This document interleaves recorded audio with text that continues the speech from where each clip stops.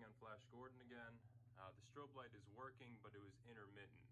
So what I found here is that the connection pins uh, here were, I don't know, not in great shape. I mean, you can see it's kind of dirty on top of even the Molex connector. So we're repinning it today.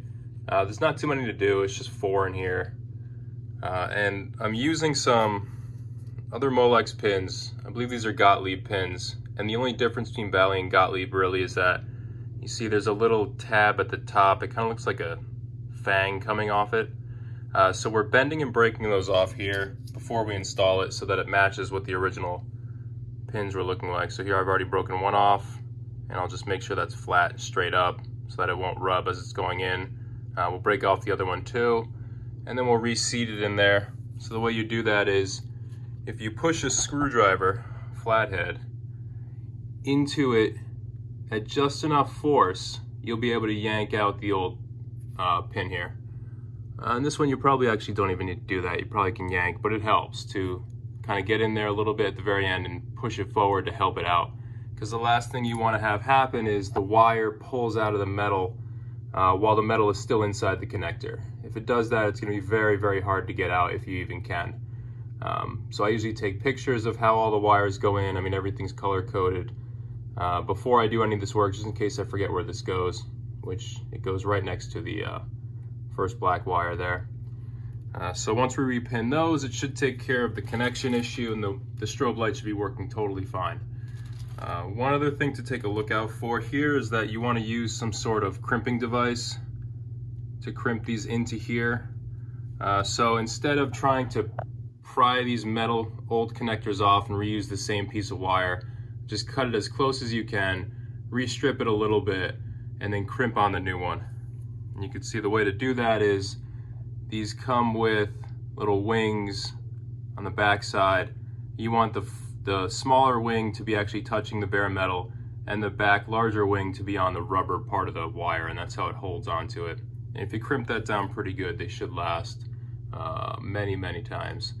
And this should last long, long, long, long time for you, as long as you don't expose your machine to any bad weather where it could corrode, which was kind of the issue here is that there was getting oxidization or dirt. I don't know how well you can see it, but you know, the pin's just dirty. So you could scrape it with a paper clip while it's still in the Molex connector. You could try and use a pick, but the real best way to do it is to pull it out and put on new uh, pins. And that should bring our Flash Gordon strobe light back, uh, back, to, back to life. On this particular one, we replaced almost all the boards. The lighting board, because we have a lot of LEDs in there. MPU, driver, or coil driver. Uh, but we still have the original sound, sound card in here. So the next thing I'm gonna do to this, just to make sure everything is safe and lasting, is I'm gonna replace these original electrolytic capacitors. Uh, you could use Mouser, some, some website like that. Uh, you just measure the individual connectors or uh, capacitors for length, uh, terminal length, width of the actual uh, cap, and you should be able to find one that fits pretty well. Uh, but you really want to do that because when these capacitors go, which is 25 to 30 years life on them, they're going to start to destroy things after the capacitor and the board. So that's when you really get into some nasty uh, repair needs once that happens. So it's best to be proactive, change out these capacitors, uh, electrolytic capacitors. You don't have to do any of these.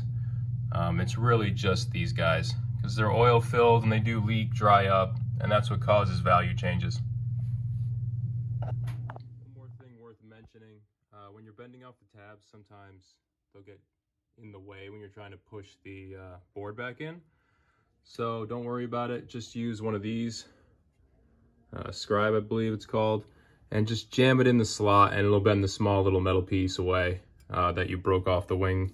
It's left from breaking off the wing and the board will fit right in. So don't worry about that.